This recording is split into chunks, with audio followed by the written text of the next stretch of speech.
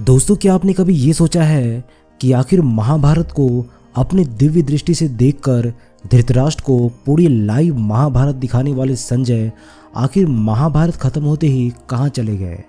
आखिर उनके गायब होने के पीछे का क्या कारण था? और शास्त्रों में उनके अचानक से ना दिखने के पीछे का उल्लेख क्यों नहीं मिलता? संजय, जो कि महाभारत के एक रहस्यमय किरदार थे, जिनको टेलीपैथी कम्युनिकेशन में पारंगत हासिल थी संजय महर्षि वेदव्यास के शिष्य थे। संजय भले ही जाति से बुनकर थे, लेकिन उनके ज्ञान का कोई सानी नहीं था। संजय श्री कृष्ण के भक्त भी थे। संजय धृतराष्ट्र की सभा में सलाहकार और धृतराष्ट्र के बेहद करीबी भी थे। ये इकलौते ऐसे व्यक्ति थे, जिन्होंने अपनी दिव्य दृष्टि से महाभारत युद्ध को साक्षात देखा था और उसका विस्तृत वर्णन करके धृतराष्ट्र को सुनाया भी था। कुरुक्षेत्र के रण में जो जो भी हुआ, वो संजय की दृष्टि से नहीं छुप सका। महाभारत ग्रंथ के अनुसार संजय स्वभाव से विनम्र होने के साथ साथ अत्यंत धार्मिक भी थे। माना जाता है कि धृतराष्ट्र ने महाभारत युद्ध को टालने के लिए पांडवों के पास संजय को ही भेजा था।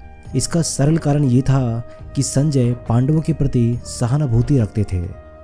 संजय के प्रयासों के बारे में भी महाभारत ग्रंथ में उल्लेख मिलता है। ग्रंथ में वर्णित जानकारी के अनुसार, संजय ने महाभारत युद्ध को टालने के लिए धृतराष्ट्र और उनके सभी पुत्रों को समझाने का अथक प्रयास किया था। यहाँ तक कि उन्होंने धृतराष्ट्र के पुत्रों द्वारा हो रहे अधर्म के खिलाफ करे वचन भी कहे थे।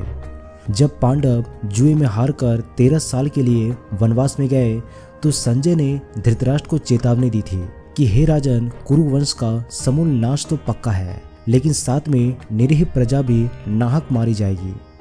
हालाँकि धृतराष्ट्र उनकी स्पष्टवादिता पर अक्सर गुस्सा भी हो जाते थे। हालाँकि कौरव वंश का विनाश निश्चित था तो कौरव पुत्रों पर संजय द्वारा समझा जाने का भी कोई असर नहीं पड़ा। बहरहाल, जब युद्ध आरंभ होने वाला था, तब महर्षि वेदव्यास जी ने संजय को दिव्य दृष्टि प्रदान की थी।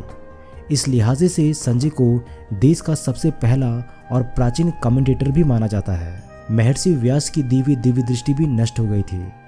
श्री कृष्ण का विराट स्वरूप जो केवल अर्जुन को ही दिखाई दे रहा था, संजय ने भी उसे दिव्य दृष्टि से देखा था। कहते हैं कि महाभारत युद्ध के बाद कई सालों तक संजय युधिष्ठिर के राज्य में ही रहे थे और युधिष्ठिर का मार्गदर्शन करते थे। इसके बाद वे धृतराष्ट्र, गांधारी और पांडव माता कुंती के साथ संन्यास में चले गए। मान्यता है कि धृतराष्ट्र की मृत्यु के बाद संजय ने हिमालय पर निवास किया था। उसके बाद उनका क्या हुआ हिमालय में उन्होंने कितना वक्त बिताया, उनकी मृत्यु कहाँ हुई, इसके बारे में कहीं भी कोई सटीक जानकारी उपलब्ध नहीं है। दोस्तों, आपका क्या कहना है इसके बारे में?